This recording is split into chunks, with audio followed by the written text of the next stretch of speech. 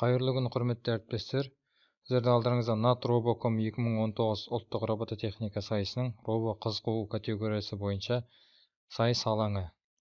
Бұл сайысқа қатысу үшін сіздерге бір автономды робот дайындауларыңыз қажет.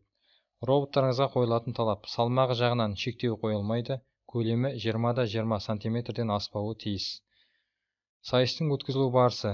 Сайыс ә, сіздердің командаңыз иә жігіт тұратын старт алаңға немесе қыз тұратын старт алаңға түсетіні ә, төрешінің қарсылас екі команданың арасында жеребе арқылы таңдалады.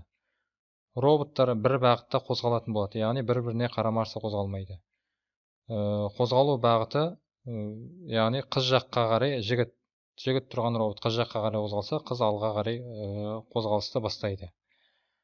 Сонымен қатар ә, егер де сіздің роботыңыз ол тұрған яғни жігіт старт алаңына түсетін болса таңдау барысында онда сіздің роботыңыздың мақсаты қарсылас роботты қуып жету. Қарсылас роботты қуып жеткен жағдайда судья стоп деген белгі арқылы ә, жеңісті сізге береді. Яғни сізге бір ұпай жазылады. Ал қарсылас командаға нөл ұпай. Егер де сіздің роботыңыз қыз тұрған алаңға түсетін болса онда сіздің роботыңыздың мақсаты яғни ә, жігіттің старт алаңына дейін ә, қарсылас роботқа жеткізбей ә, сол аралыққа жету. Сол жағда сол сол алаңға жеткен жағдайда сіздің роботыңыз жеңімпаз болып табылады. Сәйкесінше сіздің роботыңыз бір ұпай қарсылас робот нөл ұпайды алады. Енді алаңда ә, көріп тұрғандарыңыздай екі қызыл нүкте берілген. Бұл нүктеге яғни ә, алдына объекті қойылады. Сіздердің роботтарыңыздың мақсаты осы объектіні айналып өту. Объектінің нақты қай жерге қойылатыны ол жарыс барысында сюрприз ретінде беріледі.